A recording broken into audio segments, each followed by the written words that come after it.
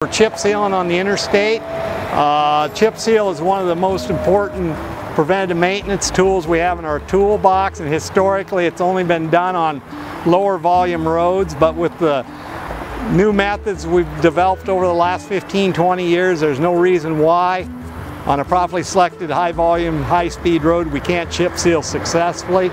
The first thing we do is we sweep the road to make sure it's clean of all debris because the emulsion will stick to the debris and if it doesn't stick to the road you lose rock. So then the next thing we did is to deal with the pavement markings. We pre-treat them with the CRS2P, that's a cationic rapid set polymer modified emulsion. We found that that works as good as grinding them off and it costs three or four cents a linear foot versus a dollar a foot to grind them off. So it's a quite a savings. And then we came back with the asphalt distributor and on this particular rock, which is a 3 8 minus rock, we're shooting 36 hundredths of a gallon per square yard of CRS2P emulsion.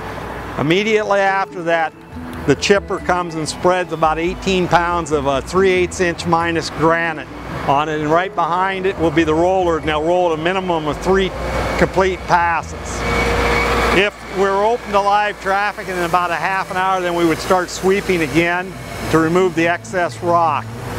But since traffic's closed, we'll sweep it tomorrow morning, and after we sweep it clean, then we will fog seal it with CSS 1H, diluted one to one at about 12 hundredths of a gallon per square yard. We will lap the center lines a foot each way because that's where the snow plows attack the chip seals. We're going to fog the shoulders to protect them and we'll lap the fog line on that. And so that's basically in a nutshell how we build a chip seal in Minnesota. We have an ongoing study where we actually took a road and we did one mile sections of chip seal starting at year one.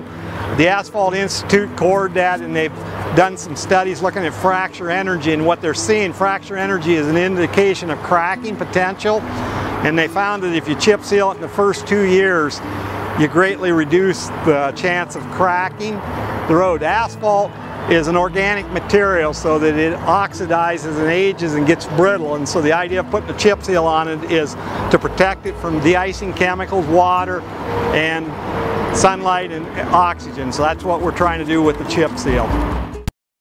Rhino is the first online bitumen platform and we are here to help you. To continue shopping, click on the link above.